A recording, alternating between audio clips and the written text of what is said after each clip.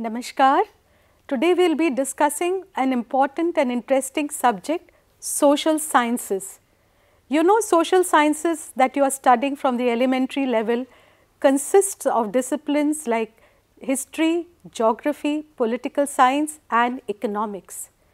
Pedagogy of social sciences for the Nishtha program draws expertise from uh, uh, different disciplines of the subject. We have our expert from political science, uh, Professor Shankar Sharan. Uh, we have expert in the field of geography, Professor Aparna Pandey. We have an expert in the field of economics, Dr. Srinivasan. You know that this subject weaves across time, space and institution. It studies the human interaction with nature and social environment across different time span. How should we make the subject interesting and engaging so that you can adopt it as a, a profession in your later life? As you know, social sciences that you are studying is interconnected with different subjects like as I said history, geography, political science and economics. It draws interrelationship across these disciplines if you take any theme that interests you. So, today we will be discussing about how to make the subject interesting. We have expertise drawn from uh, political science, geography, economics and history. So, we will tell you how to make the subject interesting so that you find it uh, the, a, subject that you would like to choose uh, as a hobby, as a career as well as the one that you can research upon. So, we will first talk about making it interesting through the teaching of geography. We have with us Professor Aparna, Bas, uh, Aparna Pandey who is an expert in this field of geography. She will tell you how to make the subject interesting through some of the tried pedagogical strategies. Professor Aparna Pandey. Thank you Professor Srivastav. As uh, Professor Srivastav has already mentioned that uh, in social sciences there are four subjects and geography is one of the components of social sciences. Geography is a challenging subject, no doubt, but there are the various reasons for this. This is a subject which is a bridge between natural sciences and social sciences because geography draws 50 percent of its contents from natural sciences. So, teachers sometimes face challenge how to translate subject matter of geography for students without oversimplifying or distorting the facts or phenomena. In the module which we have included in this manual is based on location. Location is one of the core concepts of geography. Through latitude and longitude, we identify the exact or a specific location on the globe or on the map or in atlas. In this module, we have included several activities to make the students participative in teaching learning process. Our objective is that at this stage, student must learn how to use geographical vocabulary while explaining any concept or any phenomena whether natural or social on the earth's surface. Here assessment throughout the module we have tried to integrate it with teaching learning process. Quiz has been included and students can identify location on satellite imageries which are available on web portal School Bhuvan NCERT they can identify why this location is unique. Because evidence have proved that when students are given freedom to explore the world around them, higher order thinking skills may be developed. Here we have tried to explain that a student should be given freedom to explore the globe on their own. Teachers just they have to help them to identify. Teachers can arouse their curiosity by asking some questions, where do we live on the globe? And you will find that most of these students will say that on inside the globe. Then teacher will have to adopt interdisciplinary approach by explaining gravitational force. So, we have tried to make this module very interesting, tried to make this concept interesting and comprehensible by using several activities. I think that you will enjoy while doing these activities with the students. Okay. Uh, now, we move to uh, discussion on pedagogy of political science, which uh, you must be studying. So, we request our esteemed colleague Professor Shankar Sharan to tell us about how to make the subject interesting. Oh, thank you, madam. Uh, before I go to the module and activity, I must uh, tell something which are very basic, especially for teaching political science and teaching at the school level. As we all know that uh, political science is the study of uh, government, politics, society. But it is an important subject, but it is not an easy subject. So what is difficult about it? Especially as I understand that the subject requires some experience of life to understand it in its, in its um, full scope. So, at the school level, we must uh, keep in mind as a teacher that uh, we should be content that we, uh, our students should understand the terms, the concepts, the processes as clearly as possible. So, our motto should be that uh, learning bet, uh, fewer but better. Because you cannot uh, achieve more at this stage of life. Because for instance like ethics or philosophy so this this subject is limited by the capacity of the learner.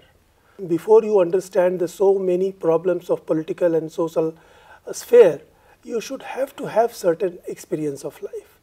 Therefore a teacher must keep in mind that the grammar of politics at the school level must be understood first because this subject is endless, controversies and problems are endless. So, how our students should tackle it all.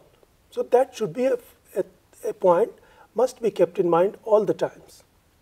So, I would say that there is a structure called uh, loosely grammar of politics and it comprises political terms, political institutions and political theory. So, our students should have the clear understanding of political terms, all the terms which we use in our textbooks, in our discussions, in our presentations, we should keep in mind that students must understand it very clearly, cleanly to be used whenever the occasion arises. So that they should not use it uh, loosely or haphazardly or without understanding it. So this is the first point. Second is political institutions. So simply uh, uh, take for instance legislature, executive, judiciary, the broad institutions. There are other institutions which are associated with it. So what is the anatomy of it? What exactly is legislature? What it is named, how it is looks like, what are its duties, what are their limitations, what is the difference or the separation of power between legislature, executive, judiciary. All these in its basic most standard meaning must be clear to students at the first. And then comes the political theory. Essentially speaking, this is uh, a topic or a theme for a higher stage. As I said earlier that uh, a certain experience of life is necessary to understand the political issues, problems and processes. So, the political theory helps to understand the facts of life from right or standard perspective how to analyze problems, how to analyze certain events or certain decisions. Because if you don't have the grounding in political theory, then any decision can be explained or analyzed as, uh, as one likes. As you, as you see every day, a government takes a decision and certain people uh, likes it, other people don't like it, and you will see that it is very difficult to decide who is right, who is, who is wrong, or what is the essence of it. So political theory helps to understand these kind of issues, which is, as I said, is a, a matter of higher stage, but students must be given a hint that this is important because political theory helps you to understand the issues, problems, phenomena, whatever is happening all over the world. So these three components, as I say, is grammar of politics. So the clarity about it must be there. And one more thing that in politics we use terms which have very different meanings. And uh, as a common example, we can read newspapers or television channel debates that the certain concept, a certain, uh, for example, take even an article of constitution, they are interpreted in different manners. And this is true for so many concepts also like secularism, nationalism, fascism, democracy, human rights, duties, uh, governments and so on and so forth. So all these terms or concepts are used or explained in different manners. So at the school stage, it is important to give the most standard, authentic understanding so that they can move on. The students can move on to understand the political process and institutions in a most standard and perfect manner as far as possible. So this is, this is something which every teacher should keep in mind. And in this, uh, in this module, we have, for example, given an um, uh, activity of uh, mock parliament. Through this mock parliament, this is just an example. Through this mock parliament, the students can be uh, made to understand how this supreme institution of our legislature works, who are the um, players in this parliament, what are the uh, processes used in running the parliament, what is called the zero hour, what is called the question hour, what is the uh, situation and power of uh, leader of the house, leader of the opposition, and so many other things. So through this mock parliament, we have tried to explain how a teacher can use activities to explain the terms and processes and problems. And of course, uh, every teacher will use his own skill or resources uh, depending upon the um, availability of situation or even the location. In a remote village, a teacher will explain the same term, same theme in a different way. In a metro city, the teacher will explain the same issues, perhaps in a different way. So this depends on the ability of the teacher and the available resources. But I think these issues and this uh, activity has to be devised as uh, situation um, provides it. Now I think uh, our colleague, Mr. Uh, Dr. Srinivasan will explain uh, something about the economic aspect of social science. Yeah. Thank you, Professor Shankar Sharan.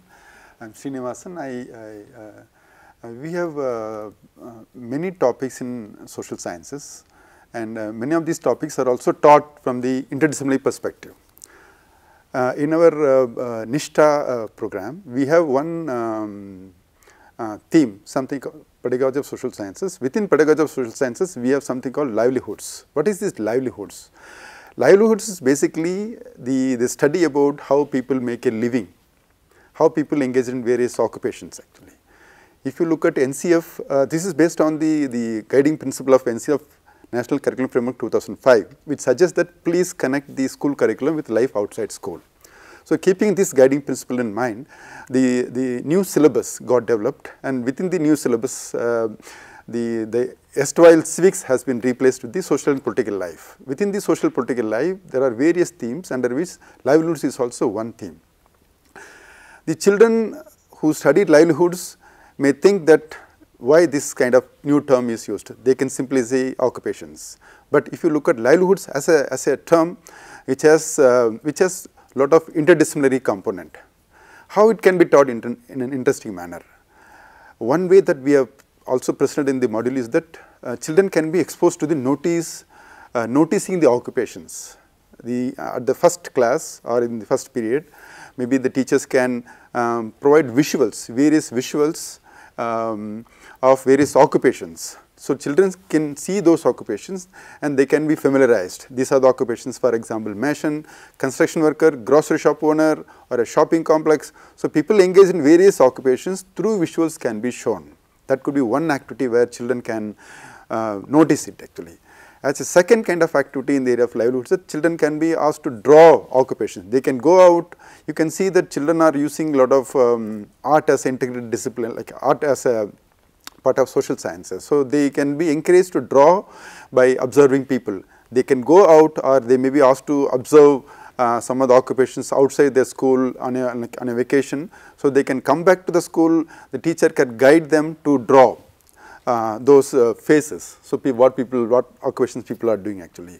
So, once they draw and then they will have an idea about various occupations for example, a doctor or a say a driver or a auto rickshaw owner like auto rickshaw driver or a vegetable vendor. So, children can draw various occupations that they depending on where they live. For example, uh, children living in villages they may draw uh, different occupations, children living in the cosmopolitan they may draw differently actually. So, these occupations can be captured and the teacher can encourage them all those occupations those these drawings can be colored they can put on the wall wallpapers like in the posters in the form of posters actually. Okay. So, if they are put on the uh, classroom walls that will be interesting uh, kind of uh, observation children can then in a school of like in a class of 40 students if 40 occupations are coming in the form of visuals that will make great appeal among the students. The third kind of activity that taking the children to the um, outside school through a mini survey. I also noticed many teachers are doing in their social science classrooms. They, they write like they uh, post some 5, 6 questions uh, to the students and uh, ask them to go back to their home, consult their parents and collect the details.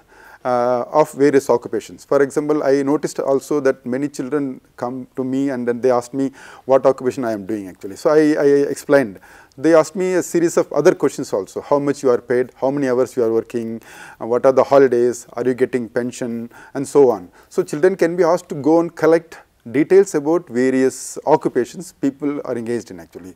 So, when they bring it uh, to the classroom, teacher can put it a proper a, kind of tabulating all this data and also they can raise a debate. For example, there are some occupations which are paid very high salary, there are some occupations in which they paid very low salary, there are some occupations people get like their own earning through self-employment. So, children can be encouraged to observe those occupations, talk to the people engaged in those occupations. So, once they bring it in the classroom, children can be encouraged to discuss and debate why these occupations are paid very high, why they are, they are paid very low actually. So, in this way like uh, teachers can encourage um, children to observe those occupations, so that the, the concept of livelihoods and the related concepts are also become very clear. In this process, various economic concepts, political science concepts may, can be made, uh, made uh, intelligible at this level. For example, what is wages, what is profit, what is um, profit margin, what is the cost, what is the revenue, what is the transport cost. Children will come across when they conduct a mini survey actually. So, in this way livelihood uh, theme is an interesting theme which is interdisciplinary that can make the social science classroom very lively and they can also connect to their life, the life outside the school system. A few things I would like to add here that uh, livelihood because this can be teacher can adopt interdisciplinary interdisciplinary approach while discussing livelihood yeah. because in different geographical location livelihood occupations will be different. So, students can collect photographs, they can collect information from different yeah. areas like hilly, hilly areas occupation will be different in uh, coastal areas or plains. So, this will this may be a very interesting activity to explain the concept yes, in right. the class. And taking from Aparna, we can go back to the domain of history because when you trace about the livelihoods, you can see why in a particular region people have opted for a particular livelihood. Uh, as you know, history is also an important subject in social sciences. So, whatever has transpired has a past, it has a history and how do we know because we have not lived those ages, we have not lived at that point of time and therefore, we uh, uh, look at our sources. As you all know that when you read themes like the Harappan civilization or you read themes that interest you like the history of freedom struggle, then how do you know about it? It is through sources and sources are important for us to understand our past, to know how people have contributed, to know the linkages between history, geography, uh, political science because it depends on the question that poses that you pose and you must be talking about uh, this with your friends. Sometimes uh, when your teacher is discussing, you discuss amongst yourself how these things have happened and therefore, we call this as sources. You must have seen your textbooks. There are reference to primary sources as well as secondary sources.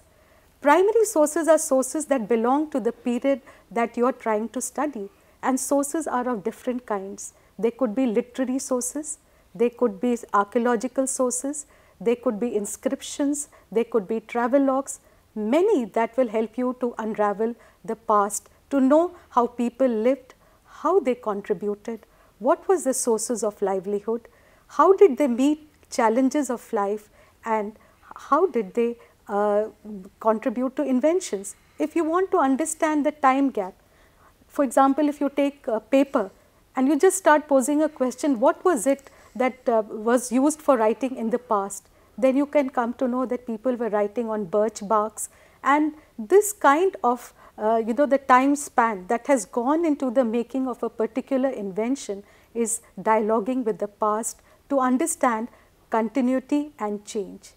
In the pedagogy of social sciences, we want you to involve each and every students to know that understanding the past is not just by undertaking a source, but by multiplicity of sources to draw inferences. Now, your school must be located in a village or a district, but definitely it has some sources uh, that you can think about it that throws light on local history and for that you can evolve different methodologies like taking the children for a field visit to a monument or to a museum and then asking them to work in groups and penning their thought in form of a project or a small essay to see how you get connected with this, these monuments.